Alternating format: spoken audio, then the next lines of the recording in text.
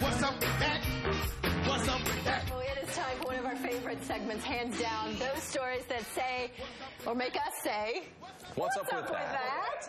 A dozen beauty contestants were disqualified for cheating, but this wasn't a normal beauty pageant.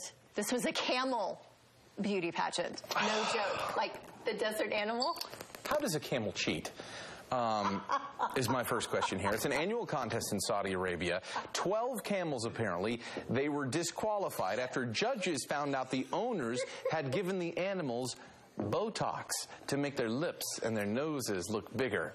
Now, according to one local newspaper, winners can rake in millions of dollars in prize money. So that's, you see, why someone, anyone, anywhere on this planet would give a camel Botox.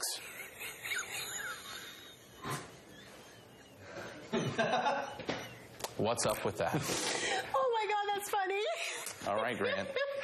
I think this reaction says it all. Uh, I want to see the. I want to see the, the photo. I want to see the. I need to see the this thing. camel's lips that have been accentuated by this Botox. Oh my gosh. Mm. What an outrage and controversy.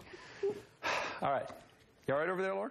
No, oh, She's I'm got, crying. okay. As we get a little weather time, I'll, I'll stall a little bit. I'll go a little longer. All right. Man. All right.